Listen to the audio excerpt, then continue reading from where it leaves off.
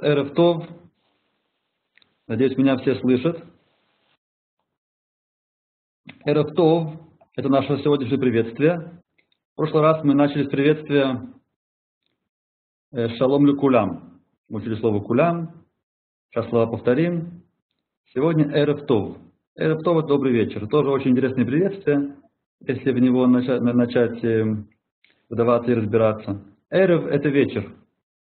Эрев пишется Айн Реш Бет или Бет Эрев. Эрев это вечер. Эрев Тов, добрый вечер. Тов хороший, хорошего вечера. Еще есть Йом Тов, хорошего дня или хороший день. Бокер Тов, доброе утро. И, конечно, скоро я вам пожелаю Лайла Тов, спокойной ночи. Так что такое Эрев? Эрев. Те, кто знают э, на слово араб, араб, могут догадаться. Араб на иврите это арави. Арави.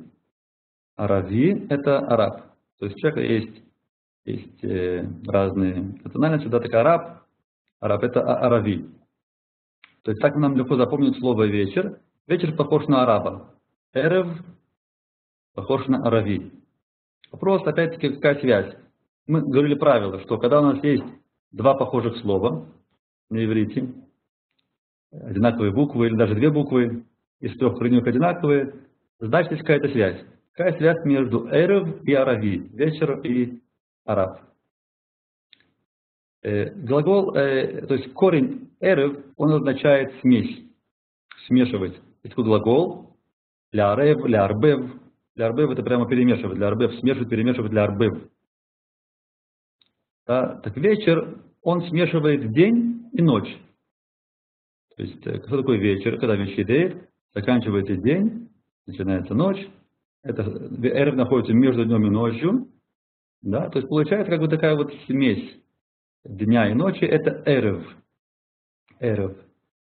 Теперь арави, араб, это тоже какая-то вещь, вид смесь, которая находится между чем-то и чем-то. Между чем и чем находятся арабы. Арабы находятся с точки зрения географической между э, севером и югом, с одной стороны, с другой стороны, между Востоком и Западом, откуда пошел ислам и арабы, да, где в основном обитают, это называется, э, иврите называется Мизраха Тихон, э, как-то по-русски, Мизраха Тихон, э, на э, Средний Восток, так говорят. Не Восток. Как Средний Восток? Не Восток. Ближний. Да. Ближний Восток. Ближний Восток. То есть что-то, что-то, что находится тоже посередине. На иврите прям так переводится, э, как будто средний, средний, э, средний э, Восток. И кроме того, можно рассказать, что вообще, даже с точки зрения религии ислама, куда относится большинство арабов, там тоже это вид такой смеси, которая, кстати, образовалась в средние века. Когда начался ислам, когда арабы вышли на мировую карту, в средние века. Почему не средние? Потому что мы живем в наше время, смотрим на все э, с нашей вышки, да, то, что было давно, это было давно, то, что было сейчас, это сейчас, а то, что было вот э, между давно и сейчас, это мы называем средние века. Когда был пик средних веков, тогда и зародился э, ислам у арабов, это тоже может причина, почему называется арави. Есть еще слова, которые имеют этот корень, и везде есть смысл смеси. Везде есть будет смысл смеси. Э, например, есть такое понятие ирув, ирув. Есть разные виды Ирува. Те, кто э, соблюдают шаббаты и мимтувим, они знают, что когда ситуация, когда наступает Йом-Тов, какой-то праздник, и сразу после этого шаббат. Такое может быть. Допустим, мы справляем первый день праздника Суккот, это Йом-Тов, после этого сразу наступает шаббат. Тогда перед праздником Йом-Тов делают Ируф Тепшилин. Ируф Тепшилин, Тапшиль это приготовление, варка, еда, и мы смешиваем э, приготовленную еду. Что имеется в виду? Имеется в виду, что мы уже до, до Йомтов, до праздника, берем и начинаем готовить на праздник и тоже на шаббат. То есть мы смешиваем приготовление еды с буднего дня и на праздник, и на шаббат. Для чего? Для того, чтобы нам не пришлось сам праздник готовить на шаббат. Потому что в праздник можно готовить дозволенным образом, соответственно, только на праздник. Да, мы не имеем права в праздник праздник Шаббат. Мы не умеем готовить праздник на будние дни, которые идут после этого праздника. И даже на шаббат нельзя готовить праздник. А если мы делаем Иру Топшилим, то тогда то, что мы готовим в праздник, считается, что это мы продолжаем готовку еще с буднего дня, поэтому таким образом можно готовить на шаббат. Есть также Ируф Тхумин, когда мы, э, когда мы смешиваем наши территории. То есть у каждого есть какая-то своя территория, свой дом, свои огороды, свои, свои дворы. Вот, и в шаббат мы знаем, что нельзя переносить вещи из одного владения в другое владение. Так перед шаббатом что можно сделать? Можно все обнести э, каким-то или забором, или даже какой-то ниткой, леской, да, и тем самым показать, что мы все находимся в одном владении, мы все смешаны, да, все общее, это тоже э, называется ируф. И так далее. Есть много-много примеров, где, где этот корень повторяется. Э, я здесь остановлюсь, чтобы далеко не уходить. Но в любом случае это слово «эрев», это наше первое слово на сегодня, слово «эрев». Мы сказали «эрев тов». Эм, а сегодня мы начинаем учить, как читать. Для многих это э, давняя мечта, наконец она, она сбывается. Начинаем учиться. Но перед этим повторим то, что мы учили на прошлом уроке. Мы учили буквы, как выглядят и как звучат буквы. Надеюсь, что все, кто были на прошлом уроке, э, более-менее, так сказать, запомнили, как буквы э, выглядят и произносят, чтобы нам можно было читать. Итак, у нас были слова. Слова с прошлого урока. Давайте их повторим. Слова. Напомню, у нас было слово кулям. Кулям это слово все. Было слово клюм. Клюм это ничего, ничто. Видели слово байт. Слово байт это дом. И было слово элев. Элев это было тысяча. Также у нас был целый список слов на дом. Там э, мы видели слова такие, как э, Адам, человек, Дам – это кровь, Адам – человек, Дам без звука А, без буквы Алиф – это кровь, Адама – это земля, там в конце было слово э, Тамар, это легко запомнить, потому что есть такое имя Тамара. А Тамар – это э, финик. Были слова э, Мазаль, которое состоит из трех слов. Мы говорили Маком, место, Зман – это время, и Лашон, Лашон – это язык. Теперь я хочу уже сейчас попробовать э, немножко интегрировать с нашими учениками в этом смысл нашего вебинара, учебы, чтобы тоже ученики участвовали. Я попробую спросить вас э, слова, которые мы учили на прошлом уроке. Просьба опять-таки не стесняться, потому что, вы говорите, тот, кто стесняется, не может учиться. Так написано в перке, а вот, статья, а вот. Надо стесняться, нужно вместе участвовать. Когда вместе участвовать, тогда учеба идет намного лучше. Вместе есть много больше силы. Давайте вдумаемся, почему, когда в синагоге происходит молитва, у евреев, то сначала все молятся по одному, все стоят, молятся по одному, а потом все вместе по главе с Хазаном э, молятся то же самое. То есть сначала все молятся какую-то молитву, потом э, Хазан, который молится вслух, он молится то же самое. То же самое как бы изучает для всех. Зачем? Да, либо можно сделать, что кто-то один молится, то есть каждый молится за себя, либо сразу все молятся вместе. Зачем это тут разделение сначала по одному, потом все вместе? Дело в том, что само то, если человек не будет молиться сам, именно сам по себе, сам за себя, то нет речи ни о каком продвижении. Человек должен э, думать о себе и продвигаться. Но этого недостаточно. Для этого нужно еще миньян, то есть как минимум 10 евреев, вместе, сплоченные, которые молятся вместе, тогда молитва намного сильнее. сильнее. То самое в учебе. То же самое в учебе, абсолютно то же самое. Когда учимся вместе, намного и веселее, и практичнее. Поэтому, пожалуйста, давайте начнем со слов. Только еще хочу сказать одну вещь. Пока мы не все умеем э, читать, нам будет трудно выполнять какие-то задания, что-то что написать, что-то почитать будет трудно. То, что нам остается, это учить слова просто на слух.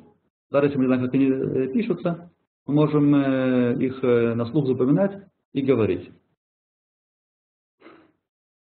Я вижу, например, у нас есть ученик Григорий Великин. Григорий, если вы нас слышите, Григорий, вы нас слышите? Еще нужно микрофон включить. Там как включается микрофон у Григория Великина.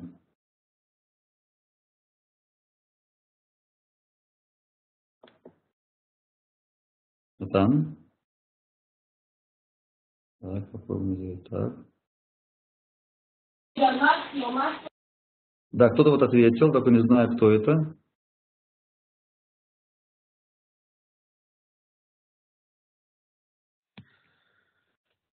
Да, кто у нас, кто, кто на связи?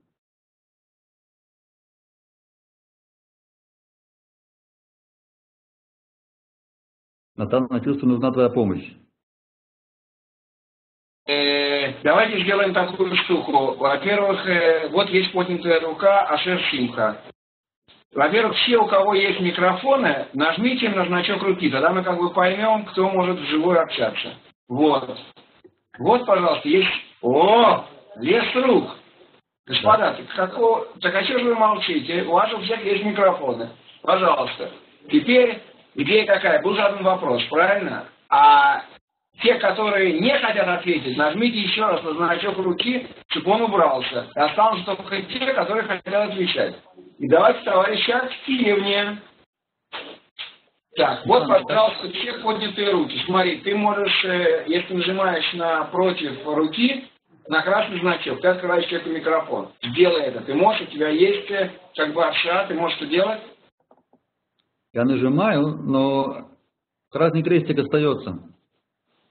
А, ну хорошо, окей. Пожалуйста, вот Григорий вам включил микрофон. Вы можете ответить. Пожалуйста, мы вас слушаем.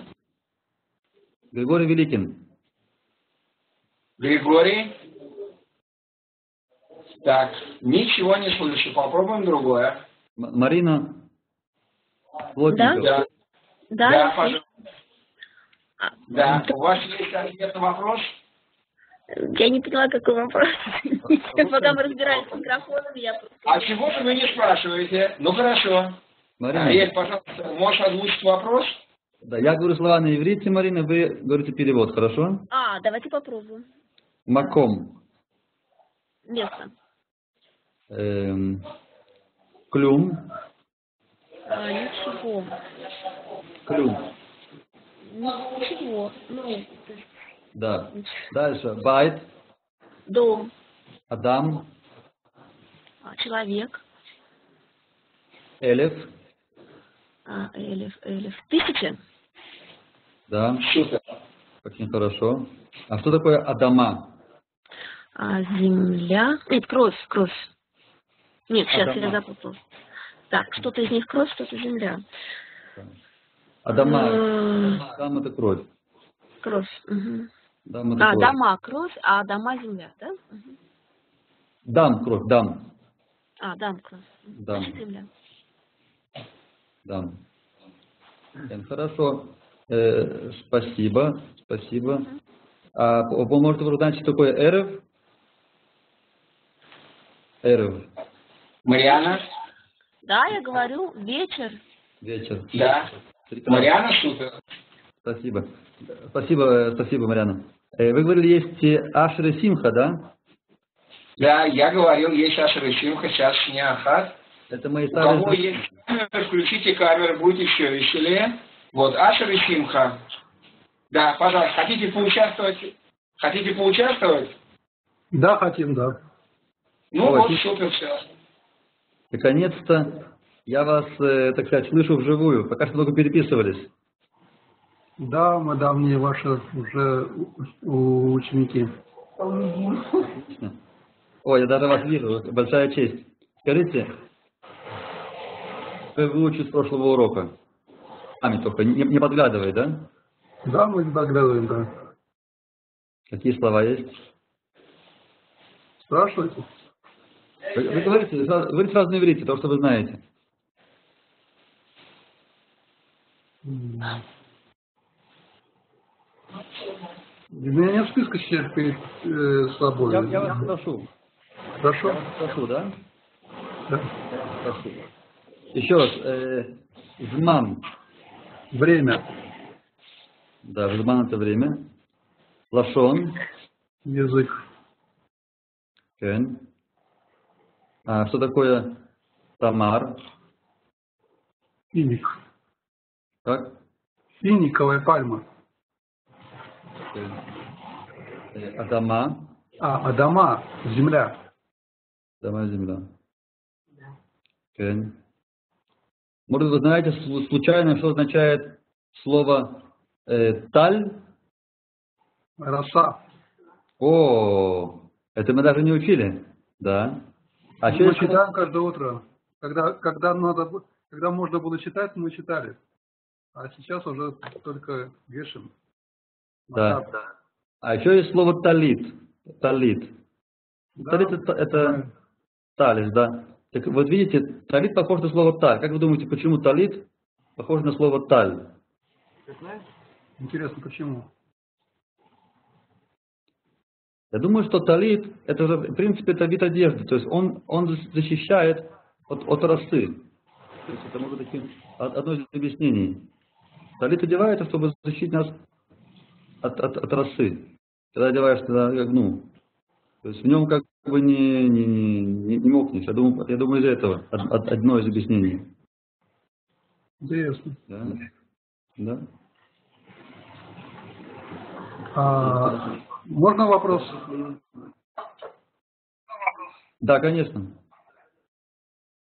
Да, я Когда мы слушаю. надеваем, когда я надеваю тфилин, мы говорим слово эрастих. Что это значит? Да. Это союз. Это союз. То же самое, что когда, когда э, жених значит, э, берет э, себе жену невесту, так, он не одевает на палец кольцо, правильно? Этот акт, это есть, называется ирусин. То есть это вид такого союза. И то же самое, когда мы одеваем на кисть, когда, на кисти мы на, на палец, на вот этот, который, э, как он называется, средний палец, да?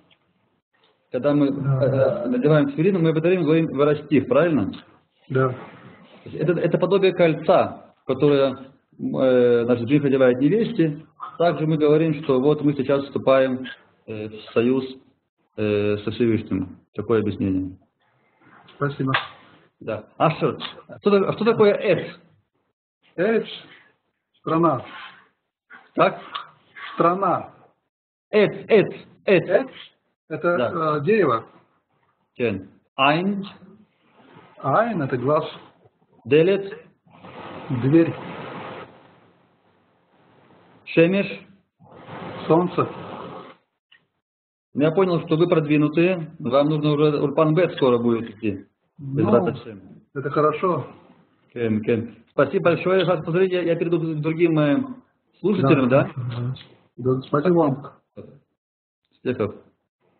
То, господа, э, давайте будем продвигаться дальше по материалу, просто я не могу всех спрашивать. Потом еще раз вернемся к этой теме, э, к вопросам слов. Я только дальше продолжу наш урок. Вы сказали, есть слово «таль». Есть слово «таль». И как оно пишется? Оно пишется «тет» и «ламет». «Таль». Ну, можно без заголовок ошибиться и прочитать его по-другому. Как «тель», например. Тель. А тель это сокращенно телефон. То есть есть много примеров таких, когда слово, когда пишется без заголосовок, можно неправильно прочитать. Вот пример этому. Видите у себя на экранах. Далит вавдалит. Далит вавдалит. Теперь, как это читается? Ясно, что D читается, это как D читается. Но вав это может быть огласовкой. Это может быть огласовкой. Прям покажу огласовки, да? Вкратце так. Звук А, как он передается? Он передается, внизу ставятся такие значки, и тогда мы читаем сначала букву, а потом мы читаем это- этот гласный звук. То есть если буква Д, то будет у нас да. Теперь звук Э передается две точки или три всего точки. Если у нас буква Д, то мы говорим Д, и дальше продолжаем гласный, и будет э, э, Д. А еще есть звук О гласный, звук О, он так передается, или буква ВАВ с точкой наверху, или просто точка наверху.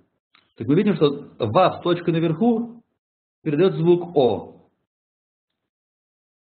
Вот, кстати, за- забежим еще немножко дальше. Последняя голосовка У вторую букву ВАВ, но точка уже сбоку.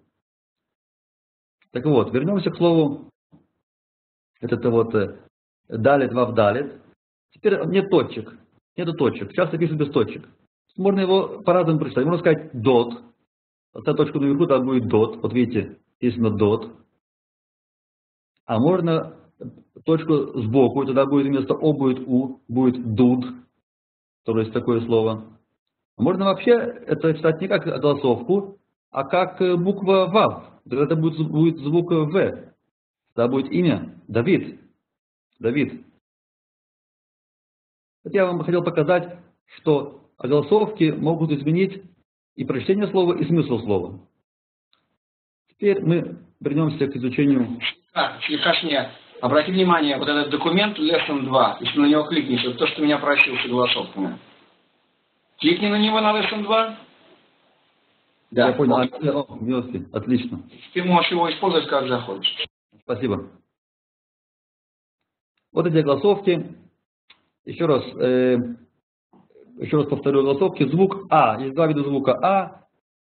Длинный и короткий. Э, опять я сказал, что в наше время почти не чувствуется разница, поэтому мы не будем углубляться в разницу между двумя этими звуками. Это уже э, уровень более высокий. Пока что на этой стадии просто помню, что два звука для А, два звука для Э или Е, так что средний между Э и Е.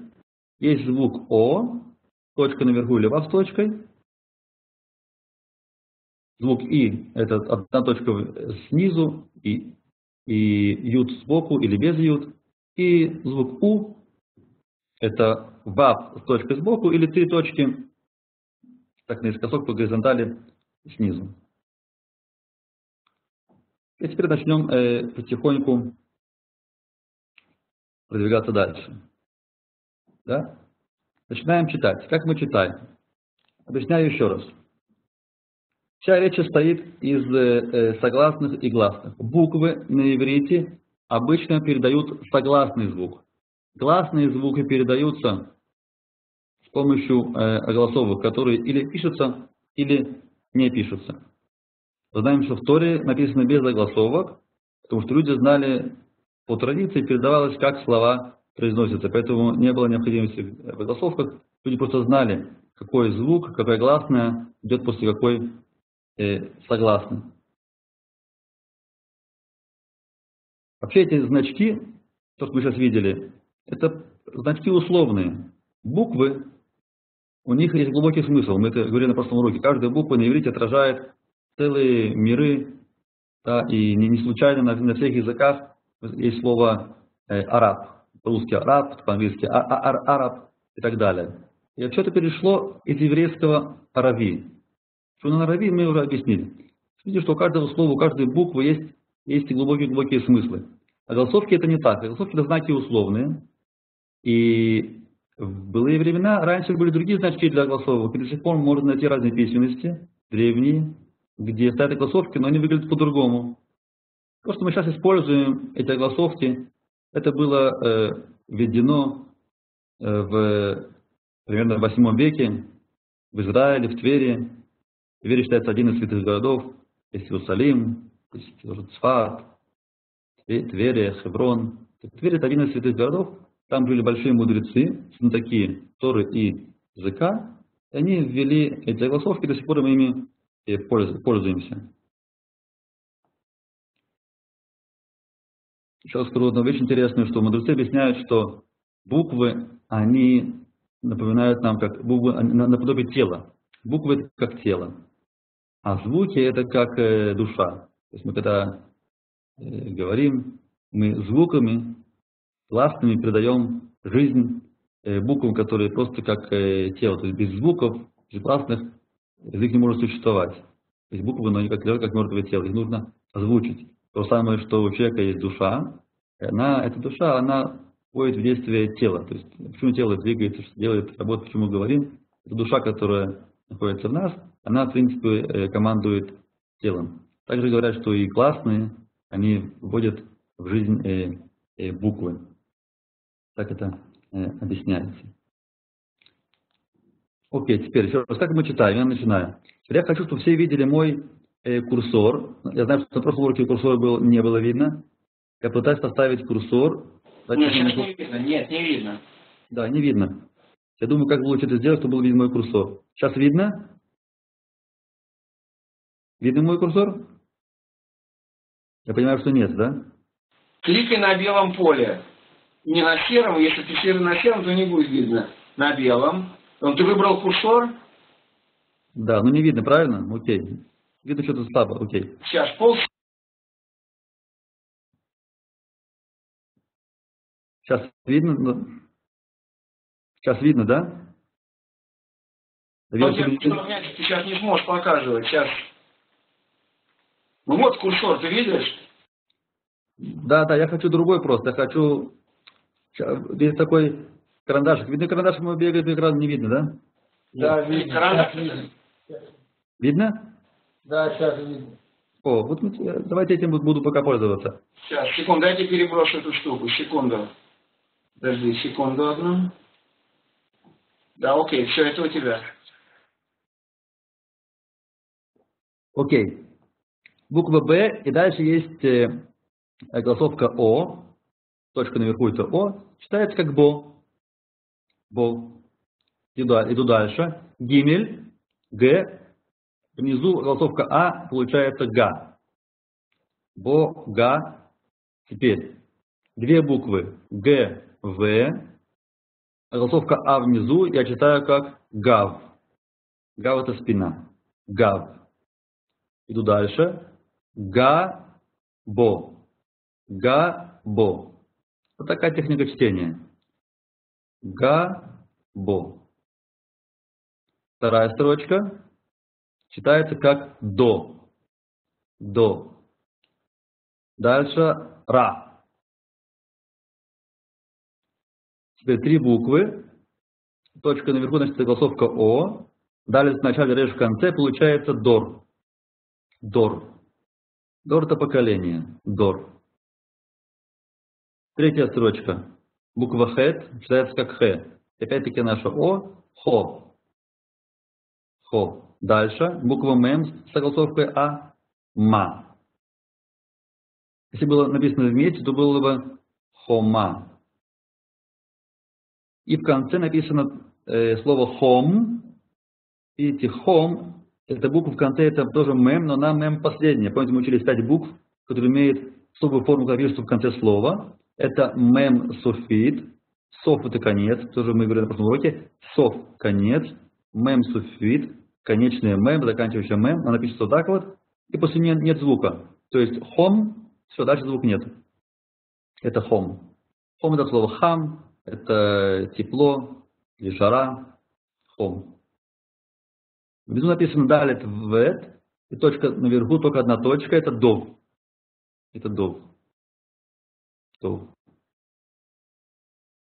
Хорошо. Здесь все голосовки А. Нам это будет уже легче это читать. Я читаю быстро уже. Гар. Теперь тут, видите, тут на самом деле можно ошибиться. Ошибиться. Просто непонятно, что написано. Это может быть или шар, или сар. Почему? Потому что вот эта буква зависит, где стоит точка. Точка стоит справа, вот здесь. Э, Видно мой курсор? Нет. Нет курсора? Да, не понимаю, почему не видно. Окей, сейчас я сделаю.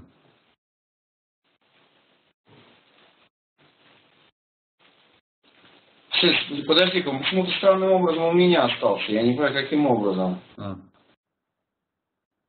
Застрели меня, не понимаю, почему он у меня остался. Э, А у тебя его нету? у меня есть. У У тебя, Килим слева у тебя есть вообще? Да, да, да, да. А, странно, но у меня тоже есть. А, вот Сутерман появился, пожалуйста. Да. Ну все, значит, нормально. Видно. Так вот, если точка стоит вот тут вот справа, да, тогда будет буква Ш, шар. А если она стоит слева от буквы Шин, тогда будет сар. В данном случае не- не- непонятно, что написано, есть и слово и шар, и сар. Дальше.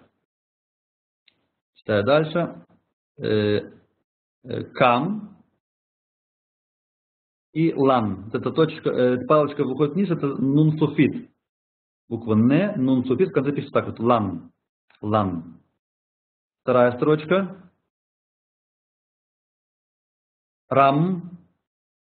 Реш. Мем. Реме. Рам. Дальше. Видите, тут уже есть точка. Значит, мы безошибочно знаем, что это шам. Не сам, хотя такое слово тоже есть, а именно шам. Точка справа это ше, ше, шам.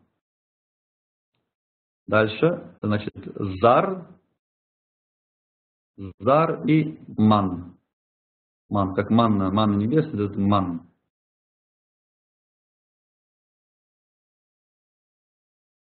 Теперь тоже по две буквы, но уже голосовка не А, а голосовка Э внизу.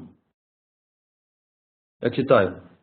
Бен, Бен это сын, Кен, точка внутри каф, это значит это буква К. Без точки было бы Х, хав. С точкой это каф, поэтому это кен, а не хен. Мы говорили, что обычно в начале слова, в начале слова эта буква она всегда будет идти с точкой. Даже если она не пишется, то мы знаем, что будет как К произноситься, кен. Гер, лев, лев, лев это сердце, лев. Я когда помню, только приехал еще в Израиль, я говорю, что меня зовут Лев. Ну, знаете, Ари Лев, это одно и то же, Ари Лев, Лев, Лев, Лев. Как я помню, пришел, э, это было, кажется, оккупация когда поликлиника, он спросил, как меня зовут. Я сказал, меня зовут Лев. Так он стал на сердце показывать, да, говорит, тебя зовут, ну, него Лев это сердце, не понял, что это Лев это Лейб, это Ари. Лев, Лев сердце. Нес, Нес, э, слово чудо. Дальше снова, да, или Ши, или Элисе, Шем, или Сем, Шем. Зер и слово Шель.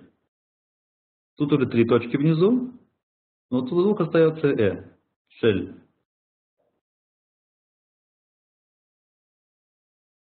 Так, теперь это уже нам знакомо. Да, нам это знакомо. Это, значит, две согласные по бокам. И посередине был звук О. Звук О. Как все это читается? Читаю быстро.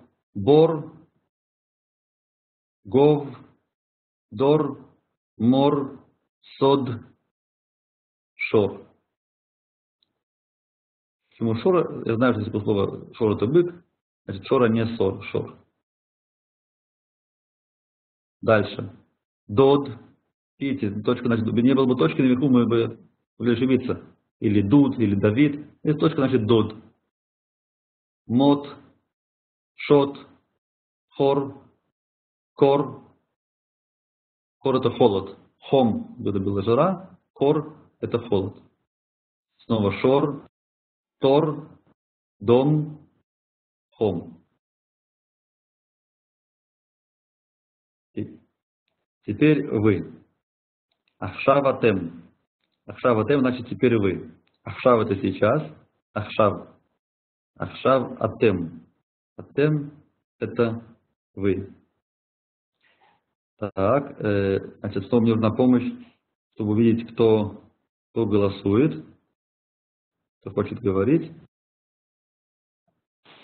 Э, поднятые руки означают готовность к ответу. Мы включаем микрофон. Так, еще раз пробуем Григорий. Григорий Велкин. А хотите Да. ли вы... Да, Великин, слегка. А хотите ли вы ответить? Молчание, пропускаем. Инесса Максимова, а хотите ли вы ответить? Да, хочу, только я не знаю. Вот замечательно, пожалуйста, Ариэль. Что- Что вы не знаете? А, меня слышно, да? Да, отлично, да, да. Значит, я читаю бо, бо, до, мо, шот, шот, дот, мот, шот, хот, хот, шот, опять, дом, хом. Прекрасно. Спасибо. Следующий. Следующий. Кто? Юлия, Юлия, я вижу, много есть. Валентин, Помин.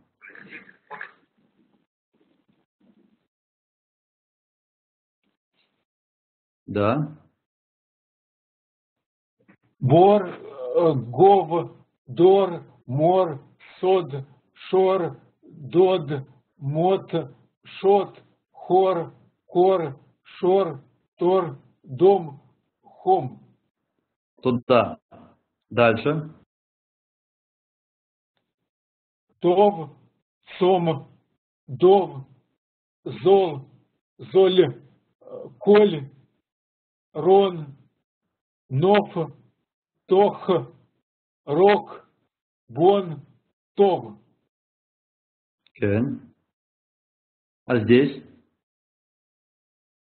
Опять я? Да-да. Ага.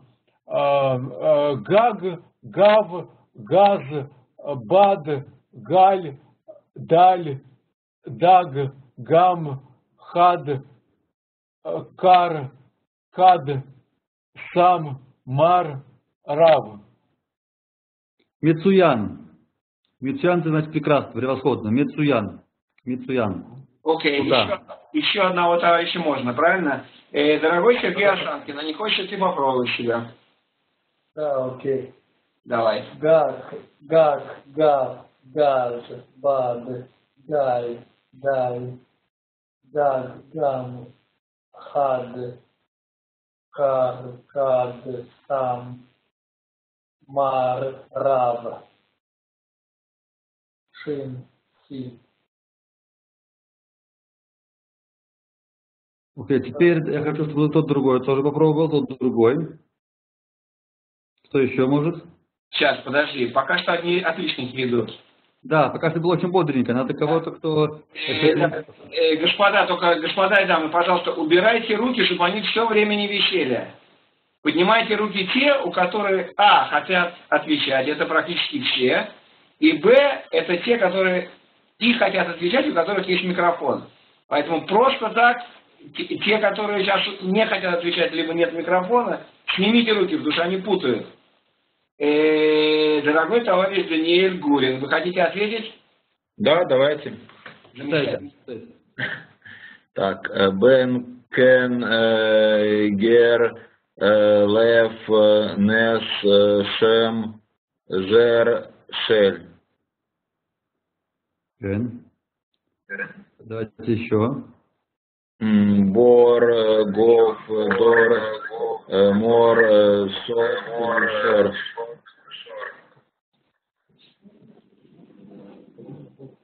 Кен. Хорошо. То есть я, я так понимаю, что пока что, в общем, мы э, усвоили материал. Хорошо, спасибо. Теперь я иду дальше. Иду дальше. Теперь мы сказали, что есть э, буквы э, согласные, а гласные идут как значки под буквами. Но добавлю еще, что есть э, четыре буквы, которые они могут являться как гласными, так и согласными. Эти буквы Ют, Гей, Вав, Алиф, сокращенный Игу. Еще раз, буквы Ют, Гей, Вав и Алиф, они как бы э, согласные могут быть. Это твердое И, это буква Г может быть э, буква В, Вав и буква Алиф тоже может быть как согласная. Но также они могут э, быть как гласные. Ют это звук И, и Гей это пишется в конце слова обычно без звука. Буква Вав это звук О, мы знаем, или У. И Алиф это, это А. Буква Гей, она очень интересная.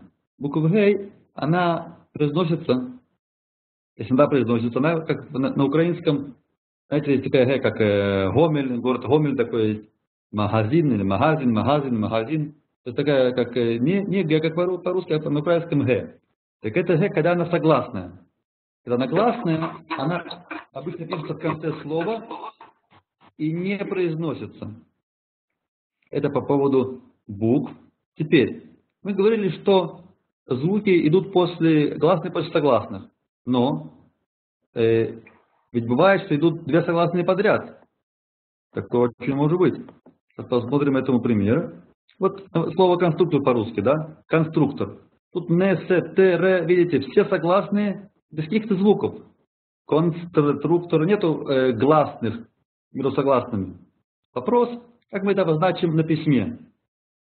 То есть либо вообще не ставить никакие голосовки, но так не пойдет, тогда будет непонятно. Либо есть голосовка, которая обозначает отсутствие звука. Ответ таков, что да, есть голосовка, которая обозначает отсутствие звука. Тут плохо видно. Э, эта голосовка называется шва. Шва обозначает как две точки, э, две точки под буквой. Две точки одна под другой. Вот я поставил значок, видите? Буква МЭМ, а под ней две точки. Это значит, что мем не читается. То есть, извиняюсь, мем читается, но без звука, просто ме. Собственно, написано слово מדבר, говорит, מדבר. Да, מדבר под ме нет звука. Спросите меня, как же нет звука? Ведь мы говорим מדבר, там есть звук э. Правильно. Это э есть, но она очень короткая. Это, это голосовка шва делится на два вида. Называется шванна, когда есть да, какое-то движение, и шваннах. Нах как бы отдыхает когда вообще нет звука, как слово конструктор. Кон, после вообще нет никакого звука. Конструктор, после нет звука. А здесь под э, медабер есть звук, но очень короткий. Обычно, даже не обычно, а всегда, в начале слова, то есть такая голосовка, она э, э, должна немножко произноситься. Например, все говорят, э, или все знают, что говорят Шма Исраэль, да, помните, Шма Исраэль. Так вот, Шма Исраэль, там первая буква Ш, а потом где-то такая голосовка под шин. Шма. То есть, по идее, там это шма надо немножко протянуть. То есть, не просто шма, а шма. То есть, есть короткий-короткий звук. Это шва, шва, на. Посреди слова это будет шванах, который не вообще не слышно. Слово э, э, мид, э, что это мидбар, да, мидбар, пустыня. Извиняюсь за плохое качество слайда. Это мидбар. После Д вообще нет звука. Мид, сразу Б, мидбар, мидбар. То есть, повторяю, отсутствие звука обозначается двумя точками, одна под другой. Называется шва. И также иногда можете быть такие значки под буквами, пусть вас это не пугает, это как будто две голосовки вместе идут, да? Не пугайтесь. Это означает, что это звук А, это тоже звук А, это звук Э, как обычно. Просто они укороченные. Опять-таки, это может быть мы не слышим на, на слух, но на запись они укорочены, поэтому есть тут такое, ставится еще две точки сбоку, как бы напоминание нам о шва, отсутствие звука. Эти две точки, они укорачивают, укорачивают этот звук. В принципе, остается А, А и Э. Это тема э, шва. Окей, теперь мы переходим к более сложным словам. Э, есть такие буквы, допустим, по-русски буква Ю. Ю. Это полностью гласная, но она состоит из двух звуков. И У. Да? И У вместе получается буква Ю. По-русски есть значок для буквы Ю. Это Ю означает одним значком сразу две гласные. Или буквы Я. Я. Я это, если мы разберемся, это И А. И А сливается, получается Я. В иврите такого нету. Нет такого в иврите. В иврите каждый значок означает один звук. Классно. Нет такого, что звуки сливаются. Если они сливаются, то надо поставить две буквы. И вот тут примеры, как пишется, э, например, звук «ё». Есть такой звук «ё» на иврите, но он пишется двумя значками. Вот пример. Пишется буква «ют» и значок «о». Получается «и-о» читается как «йом». «Йом». «Йом» – это день. Йом Тов. Йом. Тоже в конце слова то же самое.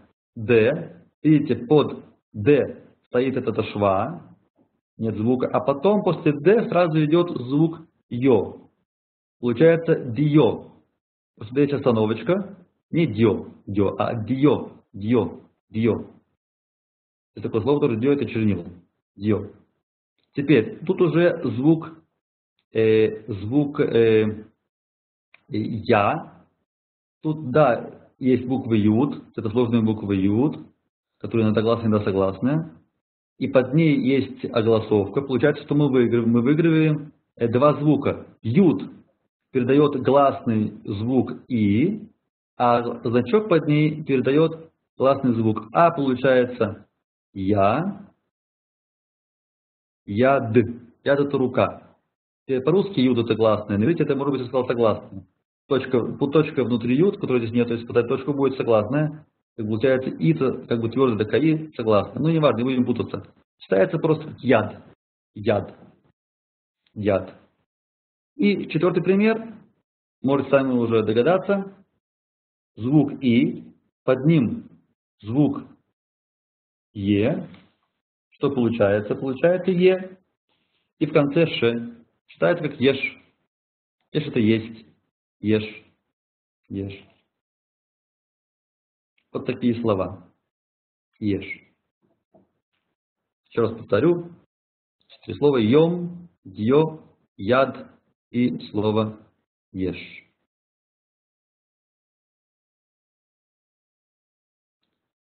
Это пропускаю, потому что плохо видно. Окей, с этим мы повременим. Теперь я ставлю эм,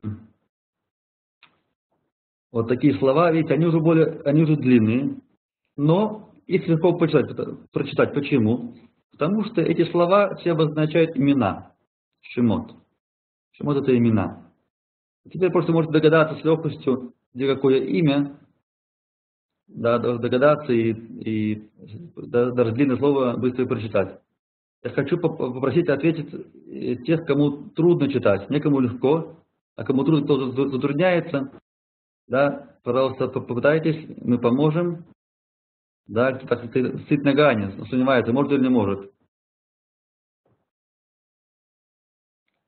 Григорий Великий нам не отвечает, правильно? А, отвечает, но мы его не слышим. Проблема с микрофоном бывает. Авигаль. Авигаль Барас может ответить? Прочитать надо? Да. Вы, вы слышите? Рахель, Йохевет, Шуламит, Дан, Нафтали, Михаль, Рафаэль. Легкость. Только не Михаль, а Михаэль, да? А, Михаэль?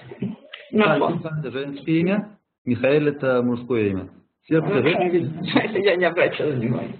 Внизу это мужские имена. Спасибо, спасибо. Спасибо. А кому потруднее почитать?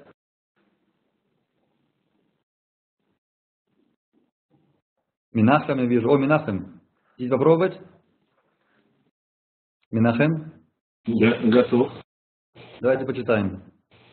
Рахель, Ехевет, Шуламит, Дан, Нафтали, Михаэль, Рафаэль. Тахон. Хорошо. Хорошо. Очень хорошо.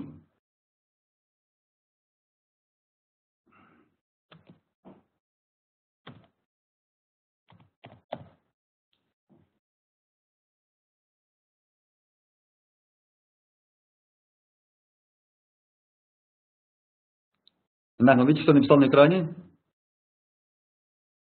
Да. Говорить не буду, но вижу. Менахем.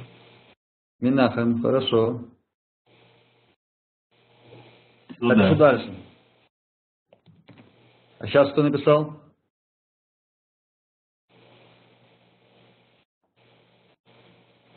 Опять Менахем.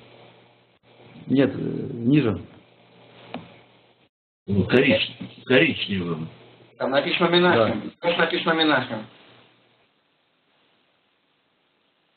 Я еще Здесь? написал слово. Зеленый Менахем и коричневый Менахем. Они ничем не отличаются. А, Мгм.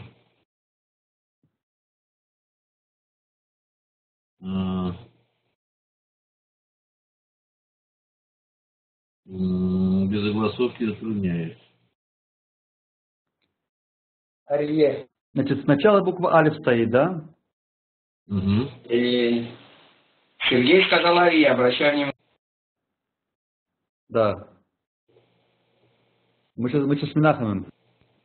Сначала Ну да, пишем- а- Да, понятно. Арие, ну да, Сергей, наверное, виднее, да, Арие. Арие. А почему Арие, когда там огласовка А? Это по ошибке, вы правы, это по ошибке. Да. А, ну вот видите. Если А, то будет Арья, правильно? Арья. Ария, да, да. Хорошо. Так я еще, я еще напишу э, слово. Так, секундочку.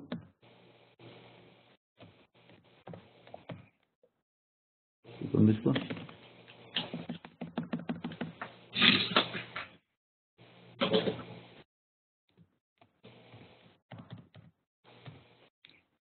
Вот как вам это, как вы вы это прочитали? Так, у меня пока еще не отображается оно. Подожди.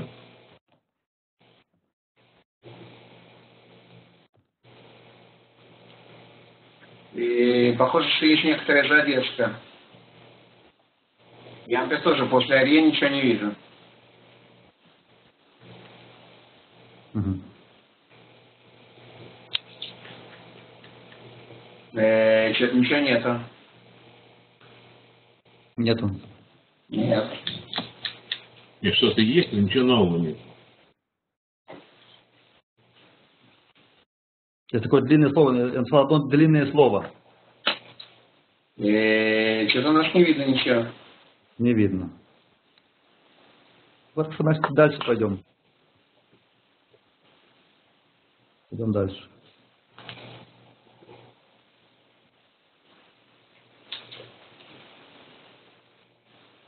Я тогда возвращаюсь. Вот, появилось. Появилось длинное слово, да. А, Без голосовок. Попробуйте, это легко. М.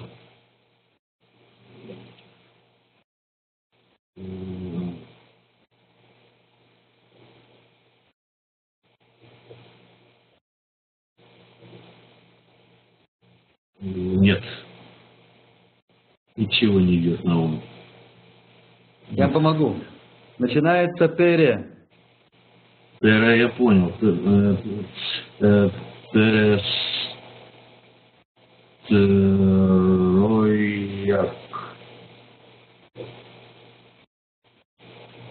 В конце это А, перестройка. Ну вы издеваетесь над нами. я не издеваюсь, пытаюсь читать. Это перестройка. Понятно. Э, Нет. Ну подождите, ну мы все-таки стараемся, мозги наши включены на еврейские корни, но перестройка, ну, ну здорово. Один ноль в вашу пользу. Главное прочитать. Окей. Ну да, да, да. Я возвращаюсь, значит, э, э, наши слова. Окей, значит, э, слова. Слова. То, что мы видели сегодня, слова, выборочные из них, то, что мы читали слова, они были все со смыслом, почти все были со смыслом. Я стал, выборочно поставил слова, которые наиболее используемые. Лев – это сердце. Лев – это сердце. Да. Минаха, вы так хорошо участвовали, давайте мы с вами уже продолжим. Попробуйте дальше читать слова новые. Э, Нес, чудо, Да. Шем, имя, эм, э, Кир, стена, Шир, песня, Дор, поколение, Коль, голос, э, Сод, секрет, э, Золь, дешевый, э, Это самех. Да, самех. а, да, да, да, самех, да, да, да, да, да, да, радостный, да, да, да. Мгм. Вот такие слова, просьба их э, попробовать э, запомнить. И еще я хочу дать такое задание. Очень легкое задание. Хочу у каждого участника, у каждого ученика попросить какое-то одно слово, которое он знает на иврите, оно ему кажется важным, поделиться с ним, поделиться им с нами. То есть, пусть каждый на следующий урок даст нам слово, которое ему кажется, все должны знать. Не нужно много мудрствовать, потому что любое простое слово, маем, вода, не знаю, там, лаван, белый, любое такое слово, которое простое, которое вы знаете, и вы хотите им поделиться с другим, чтобы все вы запомнили. Слова можете, послать э, значит, на, на форум или просто на там, документы этого, этого урока и принести их на следующий урок э, э, в Йом Хамиши. Йом Хамиши это как четверг, да? Сейчас у нас Йом, Йом Хамиши, пятый день недели. Мы занимаемся по четвергам, Йом Хамиши, перед Шаббатом. А теперь желаю всем шаббат шалом. И если есть какие-то вопросы, можно ответить на вопросы.